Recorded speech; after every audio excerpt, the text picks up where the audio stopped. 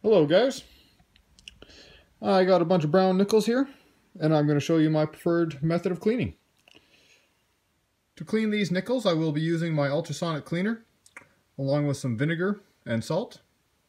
I'll get them set up in here and show you what it looks like. Okay, so I got my little container in there full of vinegar and salt. The ultrasonic cleaner is set for five minutes. Got all my brown nickels here, mostly Canadian. There is the one Jefferson here.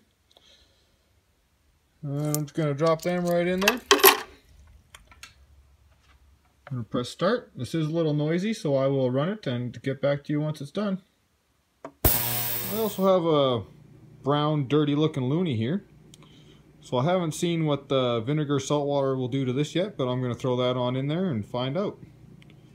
Okay, and here we go. Here's our nickels and our one loonie out of the cleaner. So as you can see, they got a bit of a gray color to them compared to the normal one here that hasn't been cleaned. It's not quite as shiny, but all that brown dirtiness is gone, and they are good to go. Here's the Jefferson, nice and clean. Same with the Loonie. A little bit of pinking on there, but uh, looks a lot better than it did before. So in my container there, I had about a teaspoon of salt, and the rest was vinegar. And the great thing about this method is when I get home, the first thing I do is I fill one of these up with hot water and dish soap, and I throw all my coins in there.